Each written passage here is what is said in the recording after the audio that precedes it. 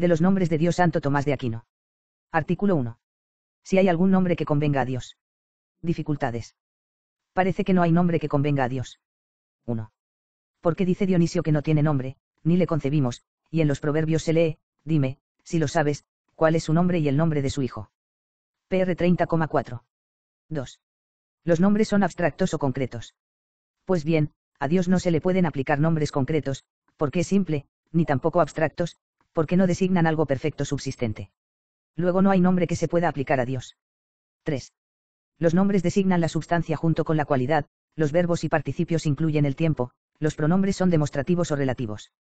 Pero nada de esto se puede aplicar a Dios, porque no tiene cualidad, ni accidente, ni tiempo, no se le percibe por los sentidos, y, por tanto, no se le puede indicar o señalar, no se le puede designar por medio de relativos, porque los relativos se emplean para reproducir algo dicho anteriormente, sean nombres, participios o pronombres demostrativos. Luego no hay manera de poder denominar a Dios. Por otra parte, se dice en el Éxodo, ex 15,3 el Señor es un fuerte guerrero, su nombre es omnipotente. Respuesta. Según el filósofo, las palabras son signos de los conceptos, y los conceptos son representaciones de las cosas. Por donde se ve que las palabras se refieren a las cosas de que son signos por intermedio de los conceptos intelectuales, y, por tanto, en la medida en que podamos conocer una cosa, en la misma podremos imponerle nombre. Pues bien, hemos demostrado, STH 1, 12, 11 y 12, que en esta vida no podemos ver a Dios por esencia, pero que le conocemos por las criaturas en calidad de principio, por vía de excelencia y remoción. Por consiguiente, podemos denominarle por las criaturas, pero no en forma que el nombre que lo significa exprese la esencia divina tal cual es, como el término hombre expresa con su significado la esencia del hombre tal como es, porque significa su definición, y ésta nos declara la esencia, pues el concepto que el nombre expresa es la definición. Soluciones. 1. Si se dice de Dios que no tiene nombre o que está sobre toda denominación, es porque su esencia está por encima de cuanto concebimos o expresamos con palabras acerca de él. 2. Puesto que al conocimiento de Dios llegamos por las criaturas y por ellas le denominamos, los nombres que le atribuimos tienen el significado que les corresponde tener aplicados a los seres materiales, cuyo conocimiento nos es con natural, según hemos dicho, STH 1, 12, 4. Pero como en el mundo de las criaturas sucede que las perfectas y subsistentes son compuestas, y que en ellas la forma no es algo completo y subsistente, sino más bien principio de ser, los nombres que imponemos para designar las completas y subsistentes las significan en concreto, como corresponde a los seres compuestos, y, en cambio, los que se imponen para significar las formas simples las significan, no como algo que subsiste, sino como aquello por lo que otra cosa es algo, y así, por ejemplo, la blancura designa lo que hace que una cosa sea blanca. Ahora bien, como Dios es a la vez simple y subsistente, para designar su simplicidad le atribuimos nombres abstractos, y para significar su subsistencia y perfección, nombres concretos, aunque unos y otros quedan tan lejos de expresar su modo de ser como nuestro entendimiento de conocerle en esta vida como Él es. 3.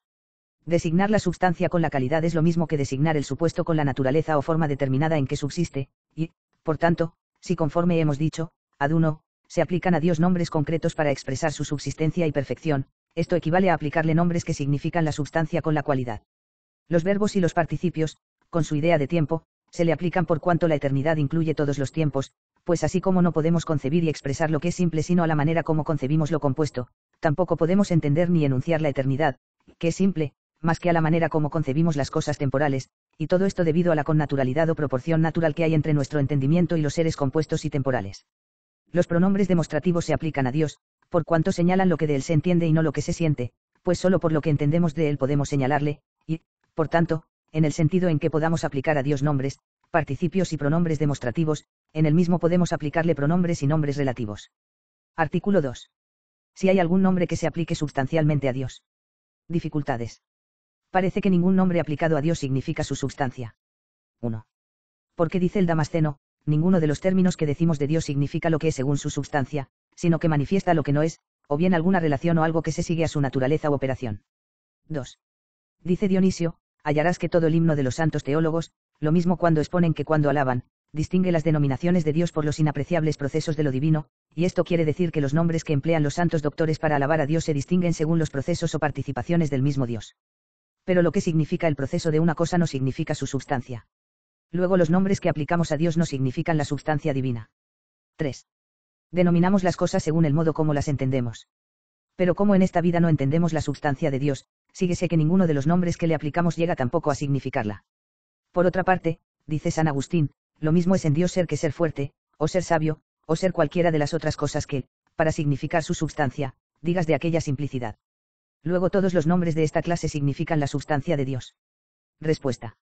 Si se trata de los nombres que se aplican a Dios en sentido negativo o de los que significan relación a las criaturas, es indudable que en modo alguno significan substancia, sino que expresan la remoción de algo incompatible con él, o su relación con otro, o mejor, la de otro con Dios. Pero acerca de los que se le aplican de modo absoluto y afirmativo, como los de bueno, sabio, etc., ha habido opiniones. Dijeron algunos que, aunque se aplican a Dios estos nombres de modo afirmativo, más bien sirven para eliminar algo que para poner alguna cosa en Dios, y así sostienen que, cuando decimos, por ejemplo, que Dios es viviente o cosas parecidas, solo damos a entender que no es como las cosas inanimadas, y esto fue lo que enseñó el rabí Moisés. Otros dicen que estos nombres fueron adoptados para significar las relaciones de Dios con las criaturas, y así la proposición Dios es bueno, quiere decir que es causa de la bondad de las cosas. Pero ambas opiniones parecen inaceptables, y esto por tres motivos. Primero, porque ninguno de estos pareceres puede asignar la razón de por qué unos nombres se aplican a Dios y otros no, y, sin embargo, lo mismo que Dios es causa de los bienes, lo es también de los cuerpos, por lo cual, si cuando decimos, Dios es bueno, no damos a entender sino que es causa de los bienes, también podemos decir que es cuerpo, pues es causa de los cuerpos, con la particularidad de que al decir que es cuerpo se da a entender que no es un ser meramente potencial, como lo es. La materia prima. Segundo, se seguiría que, aplicados a Dios, todos los nombres tendrían un sentido secundario o derivado, como el calificativo de sano se aplica secundariamente a un remedio, ya que solo quiere decir que es causa de la salud del animal al que primariamente se aplica la denominación de sano. Tercero, porque todo esto es opuesto a los propósitos de los que hablan de Dios, pues cuando dicen, por ejemplo, que Dios es viviente, no se proponen decir precisamente que es causa de nuestra vida o que difiere de los cuerpos inanimados. Por consiguiente, tomando otro rumbo, se ha de decir que todos estos nombres significan la substancia divina y se aplican a Dios substancialmente, pero no alcanzan a expresarle con perfección, y he aquí las razones. Estos términos significan a Dios según le conoce nuestro entendimiento, y puesto que nuestro entendimiento le conoce por medio de las criaturas, síguese que solo le conoce en la medida en que éstas le representan. Hemos demostrado, STH 1, 4, 2, que Dios, por ser simple y absolutamente perfecto, tiene previamente en sí todas las perfecciones que dio a las criaturas, por lo cual, en tanto una criatura le representa y es semejante a él en cuanto tiene alguna perfección, pero adviértase que no le representa como si su perfección fuese de la misma especie o género que la divina, sino como principio sobreeminente, cuyos efectos no pueden igualar a su causa, no obstante que alcancen alguna semejanza con ella. A la manera como las formas de los cuerpos inferiores representan la energía solar. Y basta ya, pues de todo esto hemos hablado cuando se trató de la perfección divina, STH 1, 4, 3. Por consiguiente, esta clase de nombres significan la substancia divina, aunque imperfectamente como imperfectamente la representan también las criaturas. Por tanto, la proposición Dios es bueno, no significa Dios es causa de la bondad, o no es malo, sino lo que llamamos bondad en las criaturas preexiste en Dios, y ciertamente de modo más elevado. Por donde se ve que no compete a Dios ser bueno porque causa la bondad, sino al contrario, porque es bueno difunde la bondad en las cosas, y por esto dijo San Agustín, porque es bueno, existimos nosotros. Soluciones. 1. Si el Damasceno dice que estos nombres no significan lo que es Dios, se debe a que ninguno de ellos expresa con perfección lo que Dios es, pero cada uno de ellos le significa según el modo como le representan las criaturas o sea, imperfectamente. 2 ocurre a veces con el significado de las palabras que uno es el significado de origen, o sea, el que motivó su formación, y otro el que les damos al aplicarlas. Por ejemplo, la palabra latina lápiz, piedra, viene de la edere pedem, lo que hiere el pie, y, sin embargo, no lo aplicamos para designar lo que hiere el pie, pues en tal caso todo lo que le hiere sería piedra, sino para designar determinada especie de cuerpos. Por tanto, se ha de decir que, indudablemente, estos nombres deben su origen a las participaciones de la divinidad, pues así como las criaturas, aunque imperfectamente, representan a Dios según los diversos grados en que participan de la perfección, así también por medio de estos grados le conoce y denomina nuestro entendimiento. Pero estos nombres no se emplean para designar los mismos procesos o participaciones, en forma que cuando se dice, Dios es viviente, se haya de entender que de él procede la vida, sino para significar el mismo principio de las cosas en cuanto en él preexiste la vida, aunque en modo más elevado del que podemos entender y decir. 3. Cierto que en esta vida no podemos conocer la esencia de Dios tal cual es, pero la conocemos en la medida en que está representada en las perfecciones de las criaturas, y en esta misma medida la significan los nombres que le aplicamos. Artículo 3. Si podemos aplicar a Dios algún nombre en sentido propio. Dificultades. Parece que no hay nombre que se pueda aplicar a Dios en sentido propio. 1. Según hemos dicho, a uno, los nombres que aplicamos a Dios se toman de las criaturas. Pero los nombres de las criaturas se aplican a Dios en sentido metafórico, como sucede al decir que Dios es piedra, o es león, u otras expresiones. Luego todos los nombres que se aplican a Dios tienen sentido metafórico. 2. No se puede decir que a una cosa se le aplica con propiedad un nombre, cuando es más propio negárselo que atribuírselo. Pues, según Dionisio, con más razón, se niegan que se atribuyen a Dios los nombres de bueno, sabio y otros parecidos. Luego ninguno de ellos se emplea con propiedad en Dios. 3. Puesto que Dios es incorpóreo, no se le pueden aplicar los nombres de los cuerpos más que en sentido metafórico. Pero resulta que todos los nombres de que nos venimos ocupando implican ciertas condiciones corpóreas, ya que en su significado incluyen el tiempo, la composición y cosas parecidas, que son condiciones propias de los cuerpos. Por tanto, se han de aplicar a Dios en sentido metafórico. Por otra parte, dice San Ambrosio, hay nombres que, sin género de duda, muestran las propiedades de la divinidad, otros que expresan la verdad indudable de la majestad divina, y hay, en cambio, otros que se aplican a Dios por acomodación basada en una semejanza. Respuesta. Según hemos dicho, a dos, conocemos a Dios por las perfecciones que, procedentes de Él, tienen los seres, perfecciones que están en Dios de modo muy superior al que tienen en las criaturas. Pero ocurre que nuestro entendimiento las conoce conforme están en las criaturas, y cual las conoce, así las expresa por medio de la palabra. Por consiguiente, en los nombres que atribuimos a Dios hay que tomar en cuenta a dos cosas, las perfecciones significadas, como la bondad, la vida, etc., y la manera de significarlas. Pues bien, por razón de lo que significan competen estos nombres a Dios en sentido propio, y con más propiedad que a las criaturas, y le corresponden a Él con preferencia a estas, pero en cuanto al modo de significar, no se aplican a Dios en sentido propio, pues su modo de significar es el que compete a las criaturas. Soluciones. 1. Hay nombres que significan las perfecciones procedentes de Dios de modo tal, que en su mismo significado va incluido el modo tan imperfecto con que las participa la criatura, por ejemplo, el término piedra, que significa una cosa material, y estos nombres no se pueden atribuir a Dios más que en sentido metafórico. Pero hay otros que significan las mismas perfecciones en absoluto, sin que se incluya modo alguno de ser participadas, como ser, bueno, viviente y otros parecidos, y estos se atribuyen con propiedad a Dios. 2. La razón por que Dionisio opina que se debieran negar estos nombres a Dios, es porque lo significado por el nombre no conviene a Dios del modo que el nombre lo significa, sino de modo más elevado, y por eso añade allí mismo que Dios está sobre toda substancia y vida. 3. Cuando los nombres que se aplican a Dios en su sentido propio incluyen condiciones corporales, no las incluyen en la cosa que el nombre significa, sino en la manera de significarla. En cambio, los que se le atribuyen en sentido metafórico incluyen condiciones temporales en su mismo significado. Artículo 4. Si los nombres que atribuimos a Dios son todos sinónimos. Dificultades. Parece que todos los nombres que atribuimos a Dios son sinónimos. 1. Se llaman sinónimos los nombres que significan exactamente lo mismo.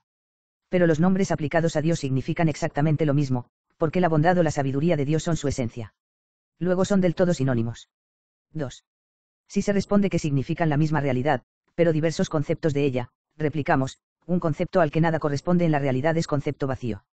Sí, pues, los conceptos son muchos y la realidad una, parece que sean conceptos sin contenido. 3. Es más una la realidad de que hay un solo concepto que aquella de que hay muchos. Pero Dios es uno en grado sumo luego no parece que sea uno en la realidad y múltiple en los conceptos. Por consiguiente, los nombres que se le aplican no significan conceptos distintos, y, por tanto, son sinónimos. Por otra parte, alinear varios sinónimos, diciendo, por ejemplo, vestido, traje, es una tautología. Sí, pues, todos los nombres que se aplican a Dios fuesen sinónimos, no podríamos decir, Dios es bueno, u otras expresiones parecidas, y, sin embargo, dice el profeta Jeremías, ya 32,18 fortísimo, grande, poderoso, tu nombre es Señor de los ejércitos. Respuesta. Los nombres que se aplican a Dios con propiedad, no son sinónimos. Sería esto fácil de comprender si opinásemos que estos nombres tienen por objeto eliminar algo de Dios o designar su relación de causa respecto a las criaturas, pues así se vería que a los diversos conceptos de estos nombres corresponderían las diversas cosas eliminadas o los diversos efectos connotados. Pero sí, como hemos dicho, a dos, estos nombres, aunque de modo imperfecto, significan la substancia divina, no cabe duda, por lo que llevamos dicho, a 1 y 2, que corresponden, a conceptos distintos, ya que la idea significada por un nombre es el concepto que el entendimiento se forma respecto de la cosa a que tal nombre se aplica. Pues, como nuestro entendimiento conoce a Dios por las criaturas, forma para conocerle conceptos proporcionados a las perfecciones derivadas de Dios a ellas, perfecciones que en Dios preexisten en estado de unidad y simplicidad, y en las criaturas se reciben en el de multiplicidad y división. Luego así como a las diversas perfecciones de las criaturas corresponde un principio único y simple, que las criaturas representan en forma múltiple y varia, así también a los varios y múltiples conceptos de nuestro entendimiento corresponde un objeto del todo simple, si bien conocido por medio de ellos de un modo imperfecto.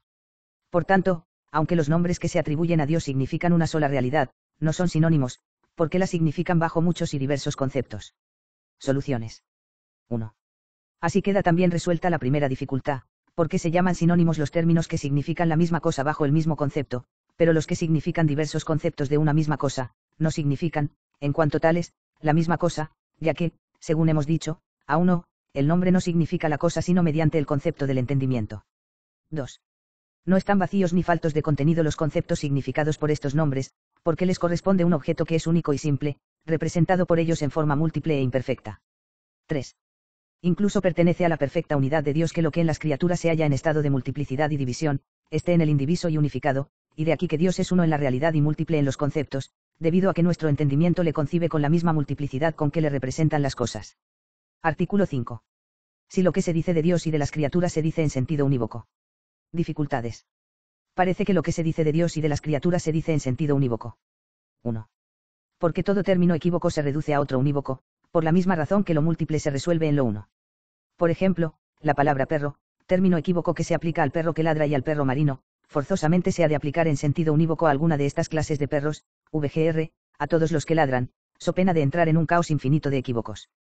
Pero hallamos que hay agentes unívocos que tienen de común con sus efectos el nombre y la definición o naturaleza, como sucede al hombre que engendra y el hombre engendrado, y los hay también equívocos, como el sol, que produce calor en los cuerpos, a pesar de que él no es propiamente el calor. Parece, pues, que el primer agente, al que se reducen todos los demás, debe ser agente unívoco, y, en consecuencia, todo lo que se dice de Dios y de las criaturas, se dice en sentido unívoco. 2. Con los términos equívocos no se expresa semejanza alguna. Pero como, según aquello del Génesis, GN 1,26 hagamos al hombre a nuestra imagen y semejanza, entre Dios y las criaturas hay alguna semejanza, síguese que algo se puede decir de Dios y de las criaturas en sentido unívoco. 3. Como dice el filósofo, la medida es homogénea con lo medido. Pues Dios es la primera medida de todos los seres, como allí mismo se dice. Luego Dios es homogéneo con las criaturas, y, por tanto, algo se puede decir de Dios y de las criaturas en sentido unívoco. Por otra parte, lo que se atribuye a varios según el mismo nombre, pero no en el mismo sentido, se les atribuye de modo equívoco pero no hay nombre que convenga a Dios con el mismo sentido con que se aplica a las criaturas, pues la sabiduría, por ejemplo, en la criatura es cualidad, y en Dios no, y puesto que varía su género, que es parte de la definición, por necesidad cambia el concepto del término. Luego cuanto se dice de Dios y de las criaturas se dice en sentido equívoco. Además, Dios dista de las criaturas más que éstas entre sí. Pues sí, debido a lo que se diferencian entre sí algunas criaturas, no se halla un solo término que se les pueda aplicar de modo unívoco, como sucede respecto de las que no convienen en el mismo género, mucho menos se hallará alguno que se aplique unívocamente a Dios y a las criaturas, al contrario, todos se aplican en sentido equívoco. Respuesta. Es imposible decir cosa alguna de Dios y de las criaturas en sentido unívoco. La razón de esto es porque todo efecto desproporcionado con el poder activo de su causa agente, recibe la semejanza de la gente, no total y perfecta, sino deficiente, de tal manera que las perfecciones que en los efectos son múltiples y están divididas, en la causa están unidas y simplificadas, a la manera como el Sol con una misma energía produce en los seres inferiores formas varias y multiformes pues de la misma manera, las perfecciones que en las criaturas están diseminadas y dispersas, preexisten y están identificadas en Dios, según ya hemos dicho, A4, y, por tanto, cuando a las criaturas se aplica algún nombre de perfección, éste la significa o expresa como cosa de naturaleza distinta de todo lo demás que hay en aquella criatura. Por ejemplo, cuando aplicamos a un hombre el calificativo de sabio, significamos una perfección distinta de su esencia, de su poder, de su ser y de todo lo demás. Pero cuando aplicamos este calificativo a Dios, no pretendemos significar cosa distinta de la esencia, del poder o del saber divinos, y por esto, cuando el término sabio se aplica al hombre, en cierto modo circunscribe y diferencia la cualidad significada, pero cuando se aplica a Dios, deja la cualidad significada como algo no delimitado que desborda el significado del término. Por donde se ve que el término sabio, u otro cualquiera, no se aplica en el mismo sentido al hombre y a Dios, y, por tanto, que no hay término alguno que se aplique unívocamente a Dios y a las criaturas. Mas tampoco se les aplican en sentido puramente equívoco, como han querido algunos, pues en este caso no sería posible conocer ni demostrar cosa ninguna referente a Dios, y se incurriría siempre en la falacia llamada de equivocación, todo ello opuesto, lo mismo a los filósofos, que demuestran muchas cosas de Dios, que al apóstol cuando dice, Ro 1,20 lo invisible de Dios se alcanza a conocer por medio de las criaturas. Por consiguiente, se ha de decir que estos nombres se aplican a Dios y a las criaturas por modo de analogía, o sea, de proporción, que, tratándose de nombres, puede ocurrir de dos maneras, o porque muchos términos guardan proporción con uno solo, VGR, el término sana, que se aplica a la medicina y a la orina porque ambas cosas dicen orden y guardan proporción con la salud del animal, una como signo y otra como causa, o bien porque uno guarda proporción con otro, como el mismo término sano. Que se aplica a la medicina y al animal, por cuanto la medicina es causa de la salud del animal. Y de este segundo modo es como decimos algunas cosas de Dios y de las criaturas, en sentido no unívoco ni puramente equívoco, sino analógico, pues, según hemos dicho, a uno, no podemos denominar a Dios más que por las criaturas. Por consiguiente, lo que se diga de Dios y de las criaturas, se dice en cuanto hay cierto orden de la criatura a Dios como a principio y causa en la que preexisten de modo más elevado todas las perfecciones de los seres. Este modo de ser común ocupa el lugar medio entre la pura equivocación y la simple univocación, pues los términos análogos ni tienen exactamente el mismo sentido, como sucede a los unívocos, ni sentido totalmente diverso, como pasa a los equívocos, sino que el término que así se aplica a muchos expresa diversas relaciones y proporciones con uno determinado, como el término sano, aplicado a la orina, significa un indicio de la salud del animal, y aplicado a la medicina designa la causa de la misma salud. Soluciones. 1. Tratándose de atribuciones, lo equívoco se reduce a lo unívoco, pero cuando se trata de acciones, el agente no unívoco precede necesariamente al unívoco, pues el agente no unívoco es causa universal de toda una especie, como de la generación de todos los hombres el sol, y el unívoco no es causa universal de toda la especie, en tal caso sería causa de sí mismo, pues forma parte de ella, sino causa particular de individuos de su misma especie. Por tanto, la causa universal de toda una especie no es un agente unívoco, y antecede a la causa particular. Pero tampoco es un agente totalmente equívoco, porque no produciría efectos semejantes a él, sino que se le puede llamar agente analógico, a la manera como en las atribuciones todos los términos unívocos se reducen a un primer término que no es unívoco, sino análogo, esto es, al ser. 2. La semejanza entre Dios y las criaturas es imperfecta, pues, según hemos dicho, STH 1, 4, 3, ni siquiera representa cosas del mismo género. 3. Dios no es medida proporcionada a lo que mide, por lo cual no es preciso que pertenezca al mismo género. Las razones aducidas en el set contraprueban que estos nombres no se atribuyen a Dios y a las criaturas en sentido unívoco, pero no que tengan sentido equívoco. Artículo 6. Si nuestros términos se dicen de las criaturas antes que de Dios. Dificultades parece que nuestros nombres se aplican a las criaturas antes que a Dios. 1. Porque como, según el filósofo, las palabras son signos de los conceptos, de la manera como conocemos las cosas, así las denominamos.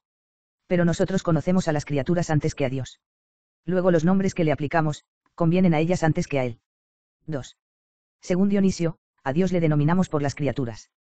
Pero ¿cuántos nombres de las criaturas se trasladan a Dios? VGR, los de león, piedra, etc., antes se dicen de las criaturas que de Dios. Luego todos los nombres que se aplican a Dios y a las criaturas convienen a estas antes que a Dios. 3. Todos los nombres comunes a Dios y a las criaturas se dicen de Dios como de causa de todos los seres, según Dionisio. Pero toda denominación causal es indirecta o posterior, y así con mayor propiedad se aplica el término sano al animal que a la medicina, que es causa de la salud. Por consiguiente, estos términos designan a las criaturas antes que a Dios. Por otra parte, dice San Pablo, F3,14 doblo, mi rodilla ante el Padre de nuestro Señor Jesucristo, del que toma nombre toda paternidad en el cielo y en la tierra. Y parece que debe decirse lo mismo de los otros nombres que se aplican a Dios y a las criaturas. Luego tales nombres se aplican a Dios antes que a las criaturas. Respuesta. Todos los nombres que analógicamente se aplican a muchos, necesariamente se les aplican en virtud de alguna relación que tienen con una misma cosa, por lo cual ésta entra en la definición de todos ellos, y puesto que el concepto que el nombre significa es la definición, como dice Aristóteles, es forzoso que el nombre recaiga, ante todo, en la cosa que entra en la definición de las demás, y después en las otras, según el orden con que, en más o menos, se acerquen a la primera. Por ejemplo, el término sano, que se aplica primeramente al animal, entra en la definición del sano que se aplica a la medicina, por ser causa de la salud del animal, y en el sano que se aplica a la orina, porque es indicio de salud. Por consiguiente, los nombres que se dicen de Dios en sentido metafórico, antes se aplican a las criaturas que a Dios, porque, aplicados a Dios, no significan más que tiene algún parecido con las criaturas, pues, así como el verbo reír, aplicado a una pradera, no significa, más que, cuando se cubre de flores, se parece en lo placentera al hombre cuando ríe, con semejanza de proporción, así también el nombre de león, aplicado a Dios, no significa más que Dios despliega en sus obras un vigor. Parecido al que pone el león en las suyas. Por donde se ve que en el significado de los nombres metafóricos tal como se aplican a Dios, se incluye el significado que tienen aplicados a las criaturas. Esta misma razón podría valer para los nombres que se aplican a Dios en sentido no metafórico si únicamente se le aplican en sentido causal, como han querido algunos, pues en tal caso decir que Dios es bueno equivaldría a decir que es causa de la bondad de las criaturas, y, por tanto, el término bueno incluiría en su concepto la bondad de la criatura, y se diría de ella antes que de Dios. Pero hemos demostrado, a dos, que estos nombres no designan solamente la causalidad adivina, sino también su esencia, y por esto, al decir que Dios es bueno y sabio, no solo expresamos que es causa de la sabiduría o de la bondad, sino que estas cosas preexisten en el de modo más elevado. Pues, según esto, se ha de sostener que, en cuanto a la cosa significada por el nombre, se dicen de Dios antes que de las criaturas, porque las perfecciones que expresan derivan de Dios a las criaturas, pero en cuanto a la aplicación del nombre, primero las aplicamos a las criaturas, porque las conocemos antes, y por ello su modo de significar es, según hemos dicho, A3, el que compete a las criaturas. Soluciones. 1. Solo es válida la dificultad en lo que se refiere a la aplicación de los nombres. 2. Se confunden los nombres que se dicen de Dios en sentido metafórico con los demás, según hemos explicado, INCE. 3. Sería válida la razón si estos nombres se dijeran de Dios en sentido exclusivamente causal, como se llama sana a la medicina, y no en sentido esencial. Artículo 7. Si los nombres que implican relación a las criaturas se dicen de Dios en el tiempo. Dificultades. Parece que no se aplican a Dios en el tiempo los nombres que incluyen relación a las criaturas. 1.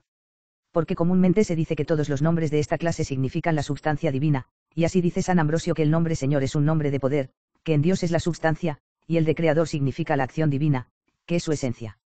Pero la substancia divina no es temporal, sino eterna. Luego estos nombres no se dicen de Dios en el tiempo, sino desde la eternidad. 2.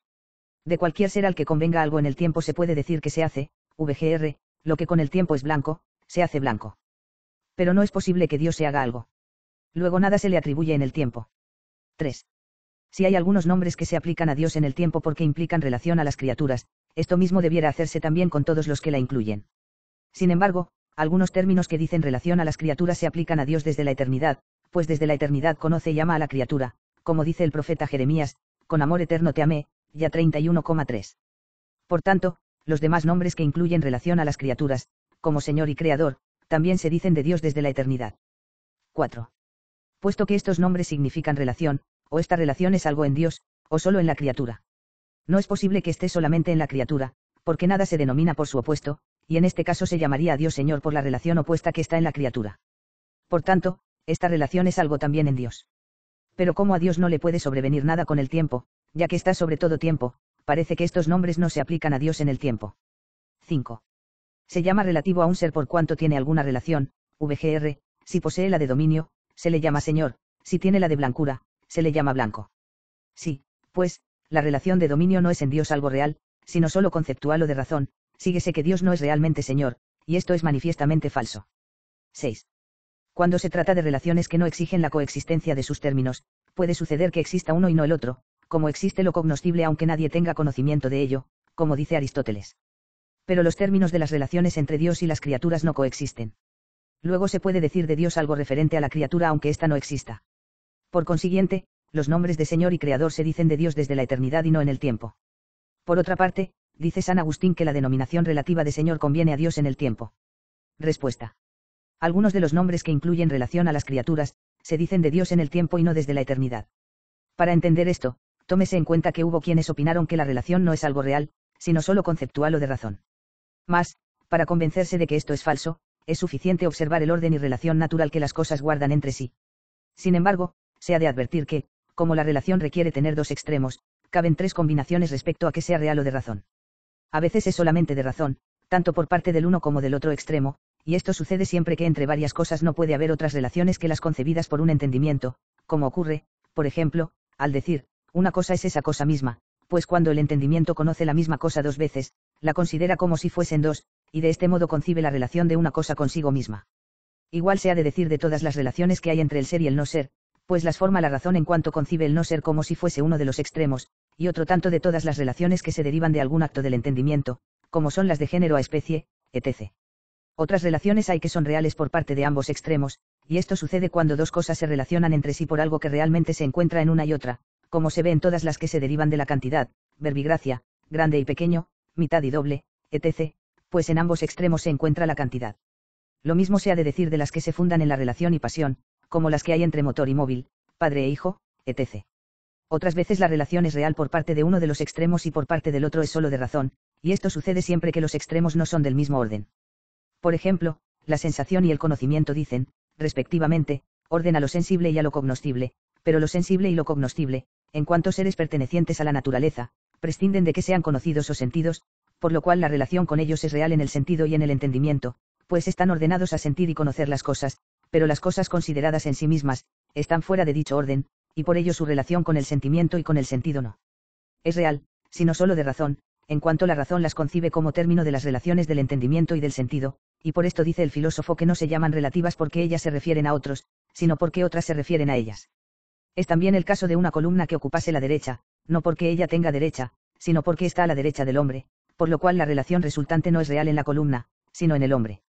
Por consiguiente, como Dios está fuera de todo el orden creado, y todas las criaturas se ordenan a Dios, y no Dios a ellas, es indudable que las criaturas dicen relación real a Dios, pero en Dios no hay, respecto a las criaturas, relación real alguna, sino exclusivamente de razón, por cuanto las criaturas se refieren a Él.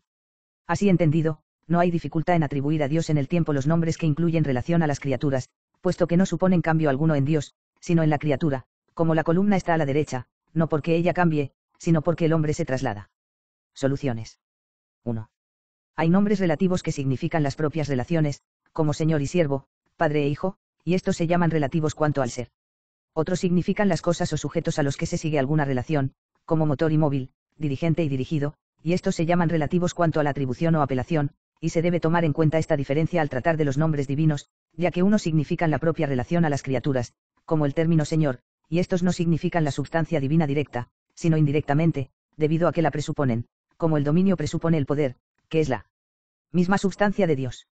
Otros directamente significan la esencia, e indirectamente la relación que se sigue, como los términos Salvador, Creador, que significan la acción de Dios, que es su esencia.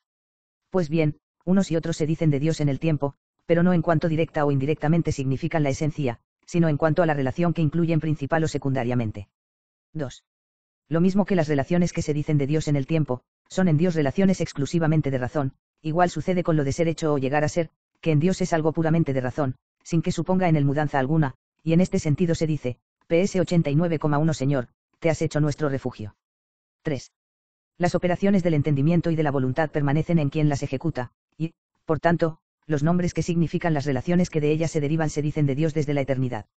En cambio los nombres de las acciones que, según nuestro modo de entender, pasan a los efectos exteriores, por ejemplo, los de Salvador, Creador, etc., se dicen de Dios en el tiempo. 4. Las relaciones significadas por los nombres que se atribuyen a Dios en el tiempo, son en Dios relaciones de razón, pero sus opuestas, en las criaturas, son reales. Y no hay inconveniente en denominar a Dios por las relaciones reales que están en las criaturas, aunque solo en atención a que nuestro entendimiento concibe a la vez ambas relaciones, pues en esta forma se entiende que Dios tiene relación con las criaturas porque las criaturas la tienen con Él, a la manera como lo cognoscible es relativo porque a ello se refiere el conocimiento, según dice el filósofo. 5.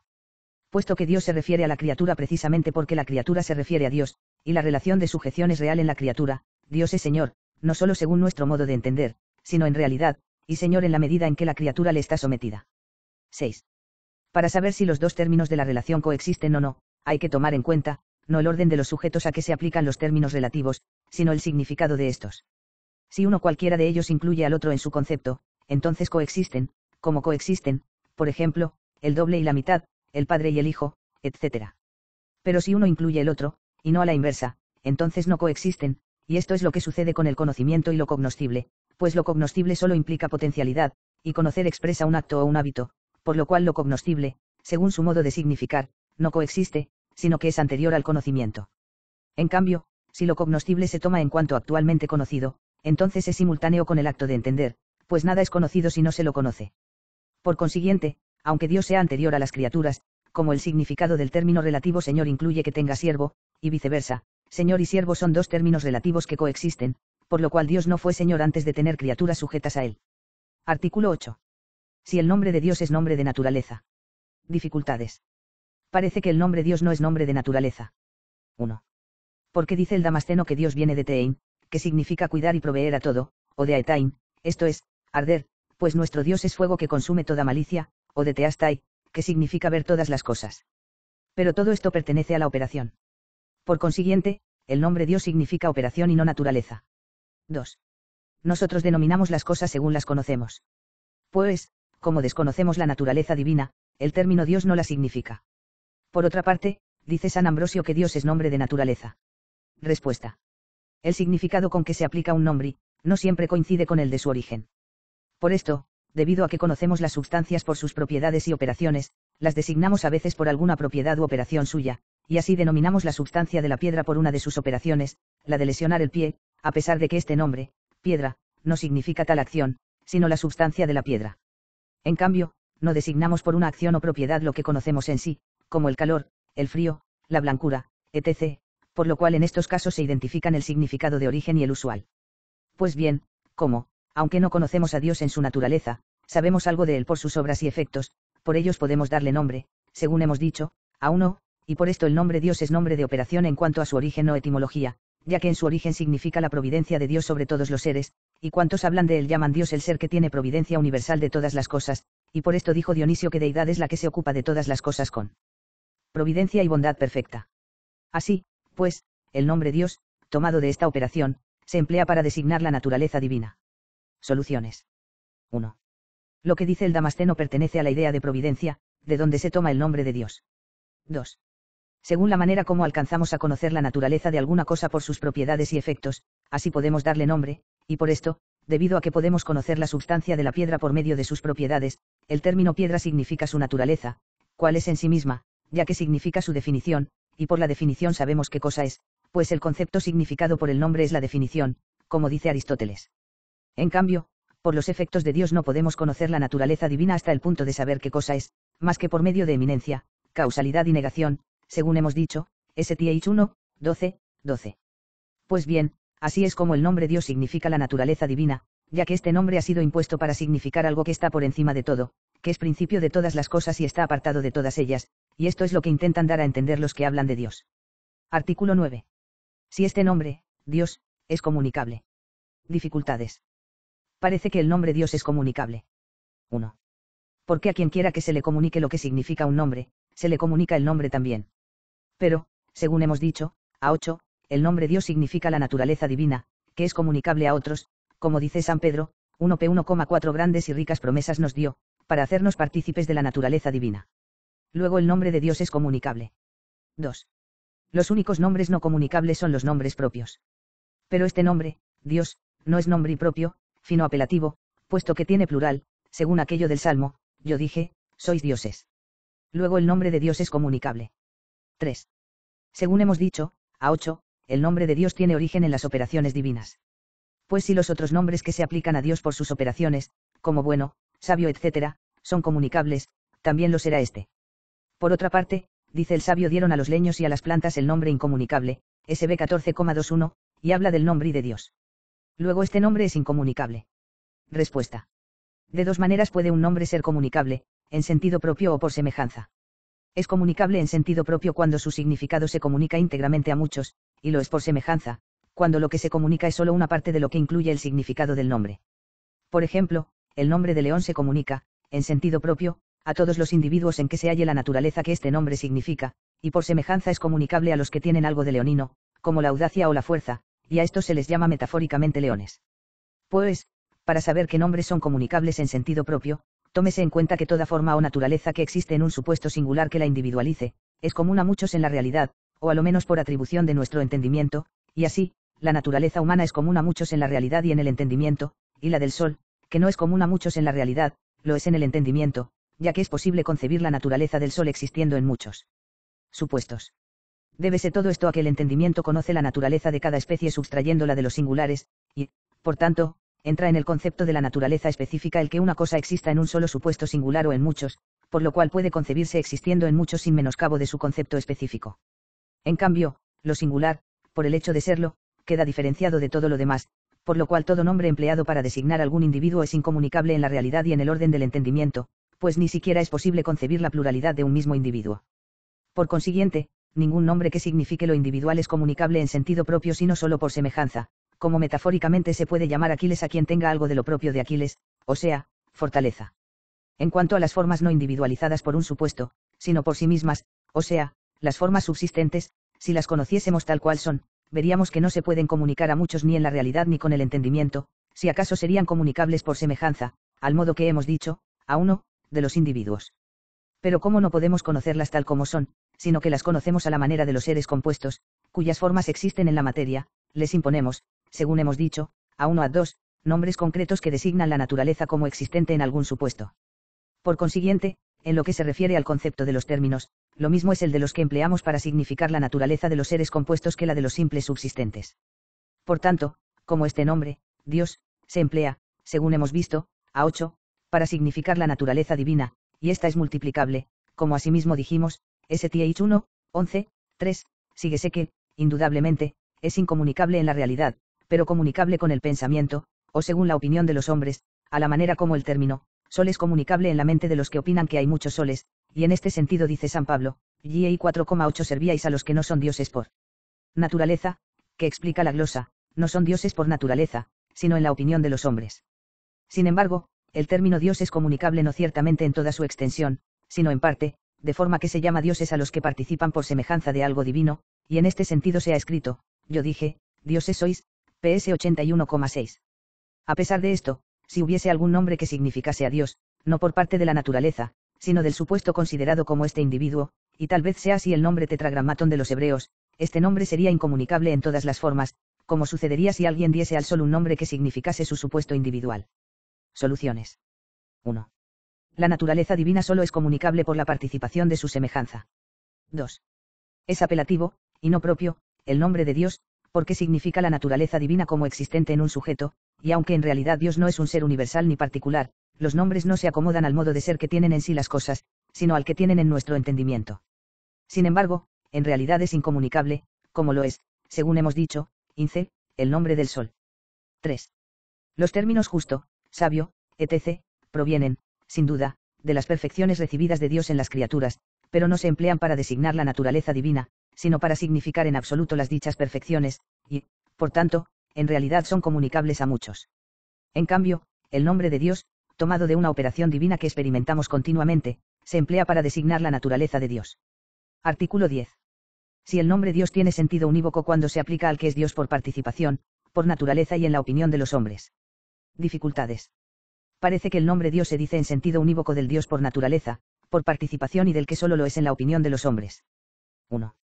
Porque, cuando un término tiene diversos significados, no hay contradicción entre el que afirma y el que niega, pues la impide el significado del equívoco.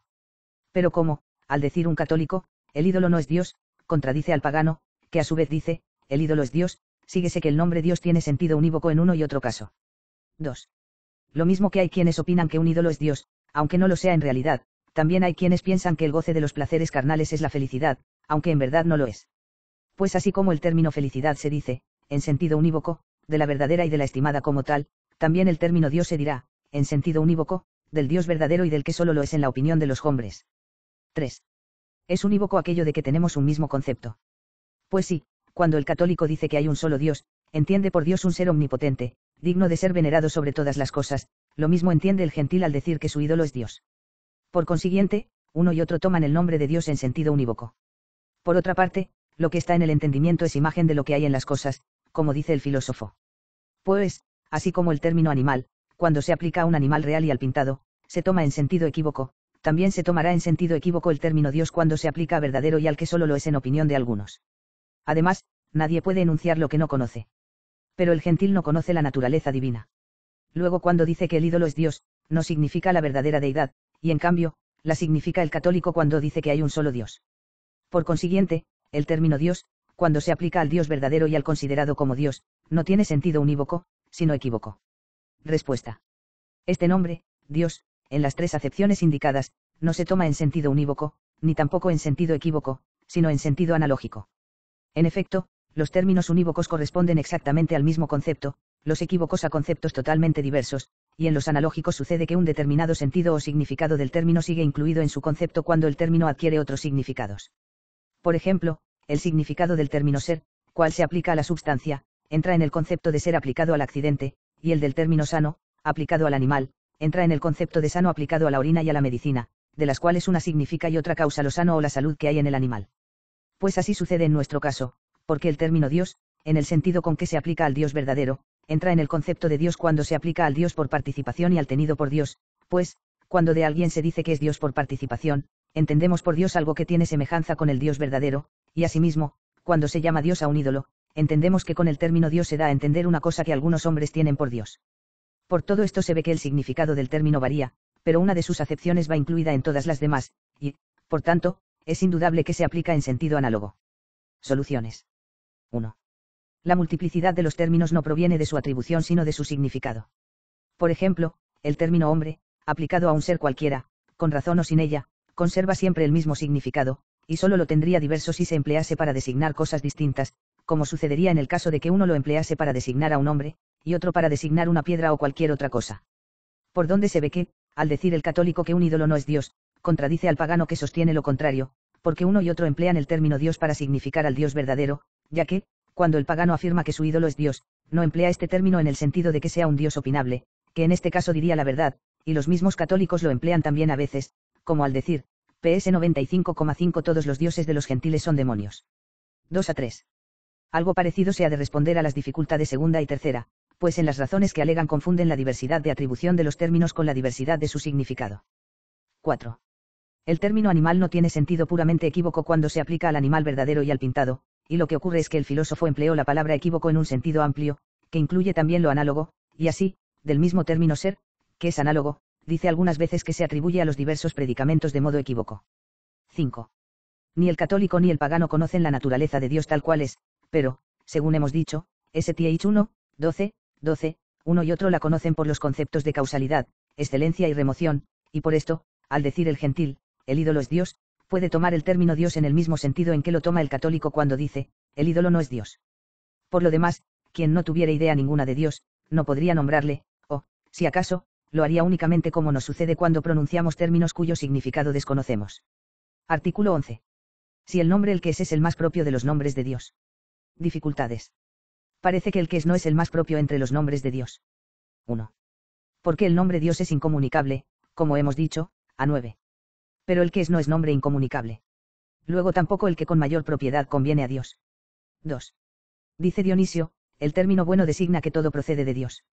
Pues como lo que, por encima de todo, conviene a Dios es ser principio de todas las cosas, su nombre más propio será el de bueno y no el que es. 3. Parece que todo nombre divino debe incluir relación a las criaturas, ya que por ellas conocernos a Dios. Pero el nombre el que es no incluye relación alguna a las criaturas. Luego no es el que conviene a Dios con más propiedad. Por otra parte, se dice en el Éxodo que cuando Moisés preguntaba, ex 3,13 a 14 si me dicen, ¿cuál es su nombre? que les he de contestar, le respondió el Señor, dirás así, el que es me envió a vosotros. Luego el nombre el que es es el más propio de Dios. Respuesta. El que es es el más propio de todos los nombres de Dios, y esto por tres razones. Primera, por su significado. Este nombre no significa una forma determinada, sino el mismo ser, y puesto que el ser de Dios es su misma esencia, y esto a nadie compete más que a él, cf. STH 1, 3, 4, este será sin duda, entre todos, el nombre que le designa con mayor propiedad, pues los seres toman nombre de su forma. Segunda, por su universalidad. Los otros nombres de Dios son menos comunes, y cuando equivalen a este, le añaden algún concepto distinto, por el cual, en cierto modo, lo informan y determinan. Pues bien, como nuestro entendimiento no puede durante esta vida conocer la esencia de Dios tal cual es en sí mismo, todo cuanto determina lo que conocemos de Dios a un modo de ser cualquiera, contribuye a alejarlo del modo de ser que tiene, y por esto, cuanto menos determinados y más comunes y absolutos sean los nombres, con tanta mayor propiedad los aplicamos a Dios. A este propósito dice el Damasceno que el más principal de todos los nombres que se aplican a Dios es el que es, pues es nombre que lo abarca todo, porque incluye al mismo ser como un pielagos de substancia infinito e ilimitado. Efectivamente, con otro nombre cualquiera se determina algún modo de ser de la substancia de una cosa, pero con este nombre no se determina ninguno, porque se refiere indeterminadamente a todos y por esto le llama pielagos infinito de substancia. Tercera, por lo que incluye su significado, pues significa el ser en presente, y esto es lo que con la mayor propiedad se dice del de Dios, que no conoce pasada ni futuro, como dice San Agustín. Soluciones. 1. El nombre el que es tanto por su origen pues se toma del ser, cuanto porque connota tiempo presente, según hemos dicho, le conviene con más propiedad que el de Dios, aunque por razón de lo que significa, sea más propio el nombre de Dios, el cual se emplea para significar la naturaleza divina. Y más propio todavía, el nombre tetragrammaton, impuesto para significar la substancia de Dios incomunicable o, por decirlo así, singular. 2.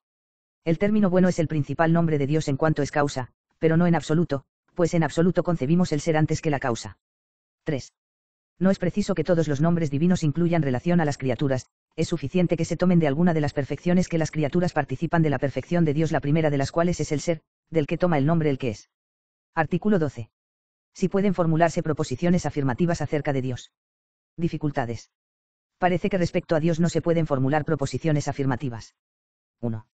Porque dice Dionisio que las negaciones acerca de Dios son verdaderas, pero las afirmaciones son inconsistentes. 2. Dice Boecio que la forma simple no puede ser sujeto, y, por tanto, sí, como hemos dicho, STH 1, 3, 7, Dios es la forma más simple de todas, no podrá ser sujeto. Pero todo aquello de que se afirma algo, hace veces de sujeto de la correspondiente proposición. Luego no se pueden formular proposiciones afirmativas acerca de Dios. 3.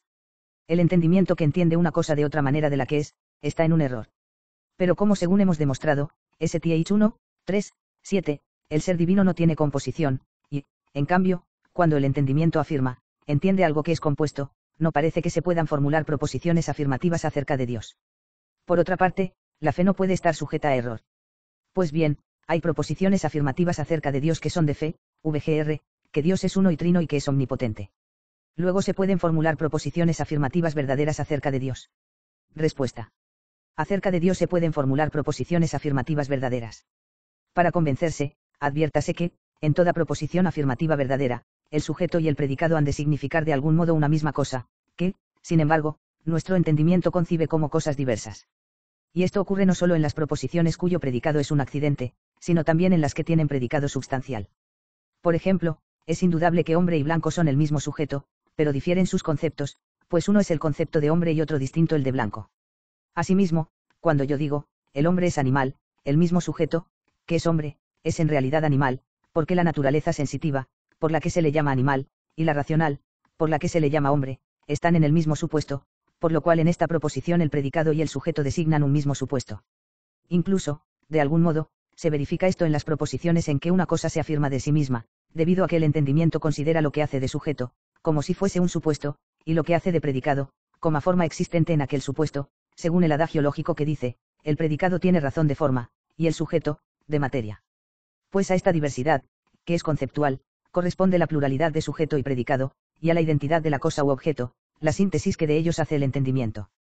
Ahora, bien, Dios, considerado en sí mismo, es absolutamente uno y simple, pero como nuestro entendimiento no puede verle tal cual es, le conoce por medio de distintos conceptos, y, sin embargo, aunque lo conozca juntando diversos conceptos, sabe que a todos ellos corresponde una sola e idéntica realidad.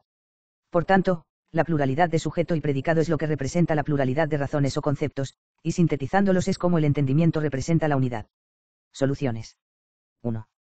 Dionisio dice que las afirmaciones respecto de Dios son inconsistentes, o, según otra versión, inadecuados, por cuanto ningún nombre compita a Dios según el modo que tiene de significarle, como ya hemos advertido, a 3. 2. Nuestro entendimiento no puede concebir las formas simples tal cual son, pero las concibe como concibe los seres compuestos, en los que hay algo que sustenta, o es sujeto, y algo sobrepuesto o inherente, y por esto concibe la forma simple como un sujeto al que atribuye predicados. 3.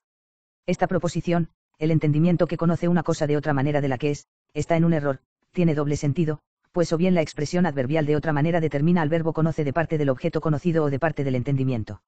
Si lo determina de parte del objeto, la proposición es verdadera, y quiere decir, si algún entendimiento conoce una cosa como no es, está en el error. Pero en este sentido no es aplicable a nuestro caso, porque al formar nuestro entendimiento proposiciones respecto a Dios, no dice que sea compuesto, sino que es simple.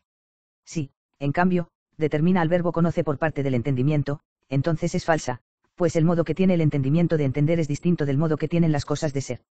Por ejemplo, es cosa sabida que nuestro entendimiento conoce de modo inmaterial las cosas materiales inferiores a él, no porque piense que son inmateriales, sino porque tiene un modo inmaterial de conocerlas. Asimismo, cuando conoce las cosas simples superiores a él, las entiende según su manera de entender, o sea, en forma de compuestos, pero sin que por esto entienda que son compuestas. Por todo lo cual se echa de ver que no hay falsedad en nuestro entendimiento cuando formula proposiciones compuestas referentes a Dios.